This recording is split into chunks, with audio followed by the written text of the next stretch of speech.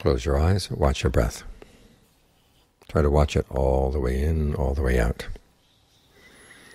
It's that effort to make it all the way that makes a difference. Remember, the Buddha taught three qualities in training the mind. There's mindfulness, keeping something in mind. There's alertness, where you watch what you're doing and you see the results of what you're doing. And then there's ardency,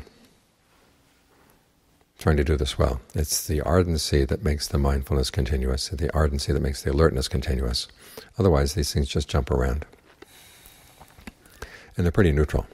You can be mindful of all kinds of things. You can be alert and watching yourself doing all kinds of things, and it still counts as alertness, whether the things you're doing are good or bad. But when you're ardent, you realize that if you do unskillful things, there are going to be bad consequences. So you do your best to avoid unskillful things and to develop skillful things in the place. That's the beginning of wisdom. There's not necessarily any wisdom in mindfulness or in alertness.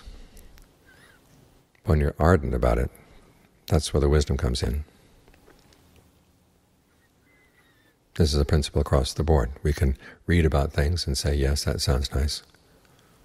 The Buddha says, these are the causes of suffering, these are the factors you develop to bring an end to suffering.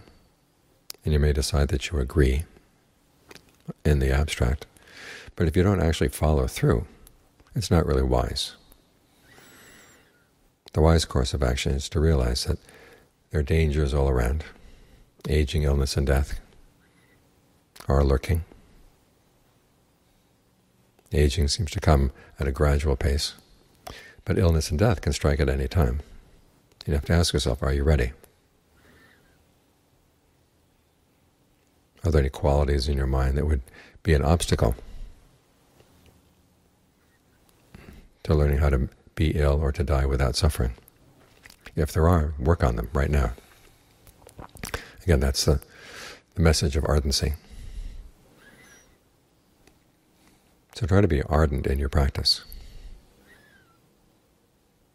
Remember that what you do is going to make all the difference between whether you suffer or not, and whether, whether you cause suffering to other people or not.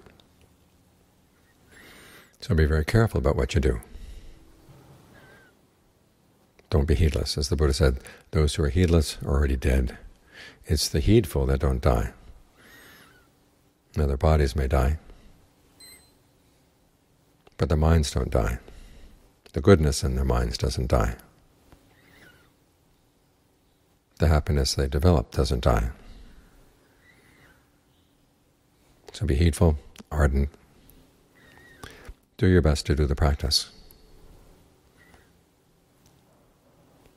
Because it's the best thing a human being can do.